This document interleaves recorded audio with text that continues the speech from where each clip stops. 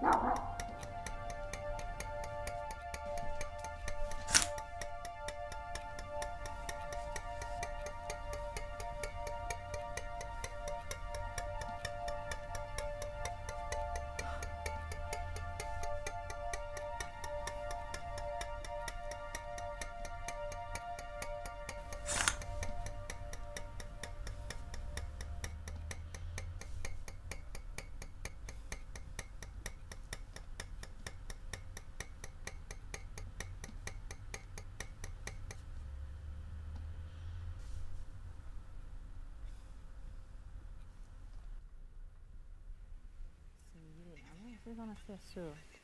Hun har gjerne fått nei i dag.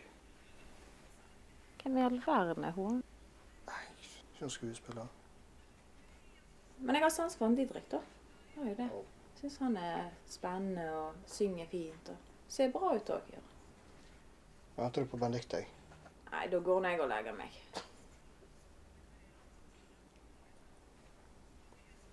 Ja, jeg traff en eh, en gammel kompis av meg fra militæret her i Norge.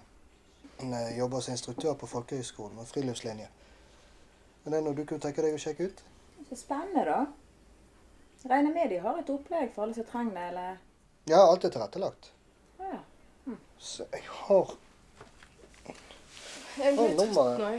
Så jeg tenker jeg bare legger meg. Men eh, god natt, da. ja, God natt. Men eh, du er med på dugnaden i morgen?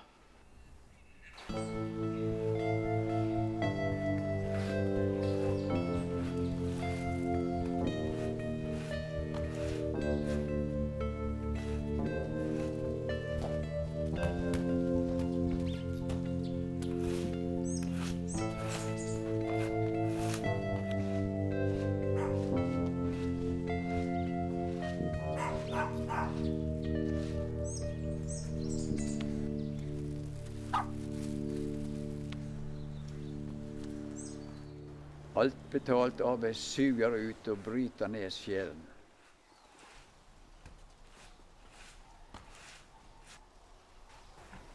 Aristoteles. Ja, det kan godt hende. Jeg leste det på en kalender. Johanne. Syns det var så godt sagt. Jeg har brukt så mye tid på å unngå ubetalt arbeid at jeg har, det har faktisk blitt en jobb i seg sjøl.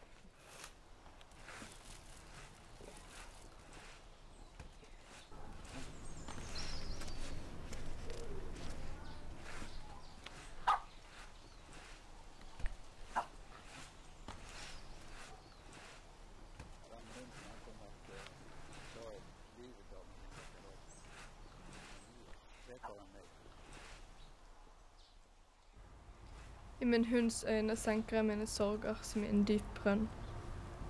Wergeland. Litt eh, overdramatisk type, syns nå jeg.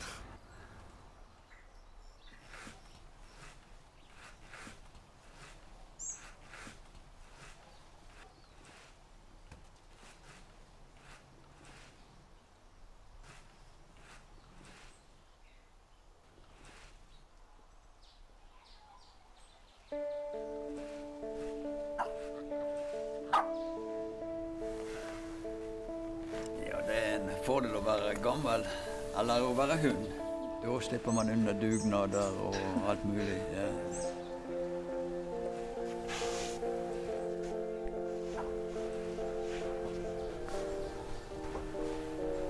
Det var hyggelig å hilse på deg. Takk for samme. God tur, da. Ja, takk for det.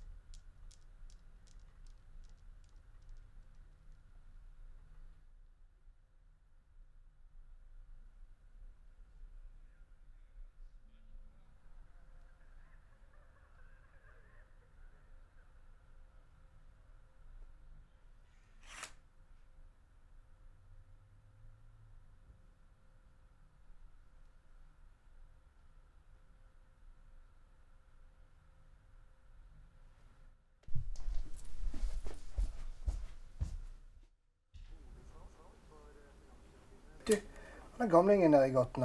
Ja. Vi, vi snakka litt om noen på, på dugnaden i går. Far for en spreking, altså. Jeg går på fjellet hver eneste dag. Han? Han og bikkja. Det er jo helt fantastisk hvor sprek den eh, gamlingen der er. altså. Springer opp og springer ned. Det er jo et stykke oppå den toppen. Ja. Jeg vet hva, jeg håper han eh, klarer seg opp på fjellet.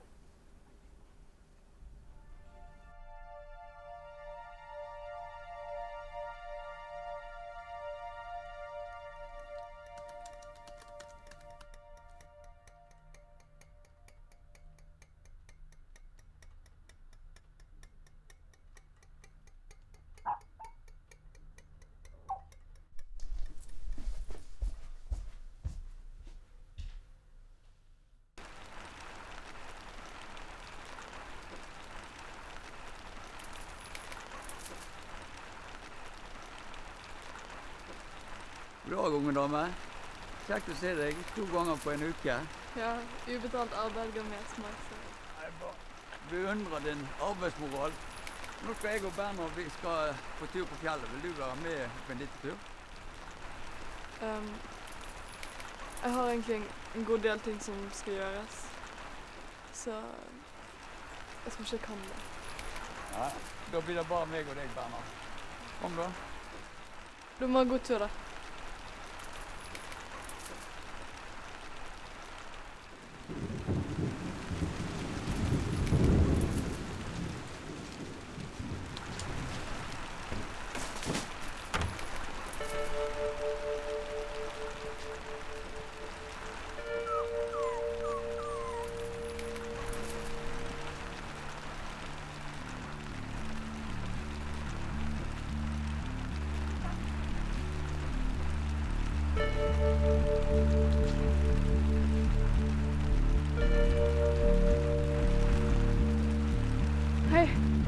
Sett en eldre mann her oppe? Han eier denne hunden. Hei, unnskyld. Har du sett en gammel mann komme gående? Ikke? Han eier den hunden.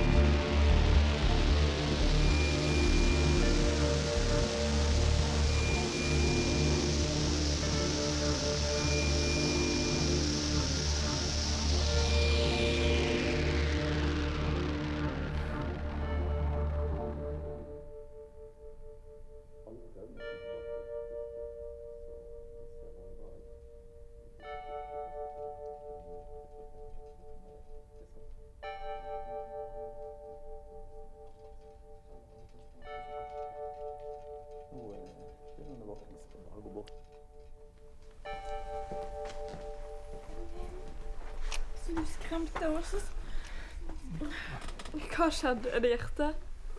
Vi tror at du har hatt en, eh, altså et stort panikkanfall. Alt ser greit ut på prøvene, så prognosene fremover de ser, de ser veldig bra ut.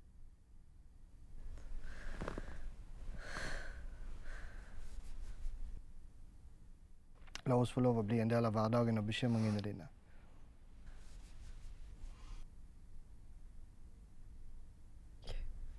Jeg skal prøve. Ti kniver i hjertet. Nei, slutt å tulle. Takk Gud han fant deg og fikk deg til akutten så fort. Hvem fant meg? Han?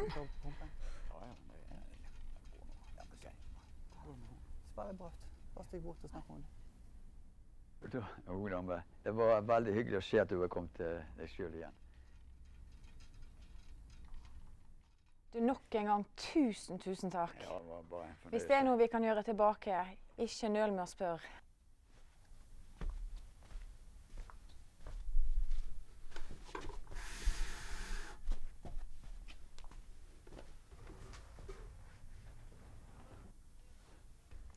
Jeg var så utrolig redd for deg.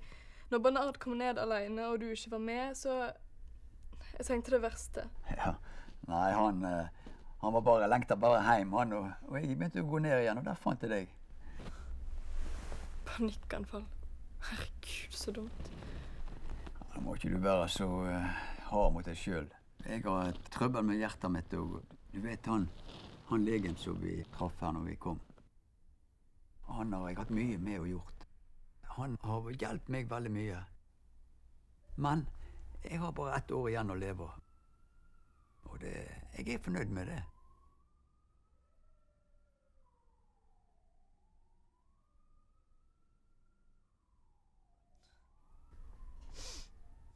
Det Sånn, sånn er livet.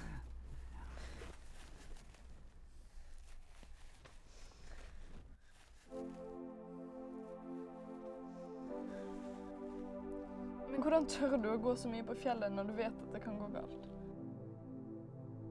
Hva så du? Hva så du på den fjelltoppen?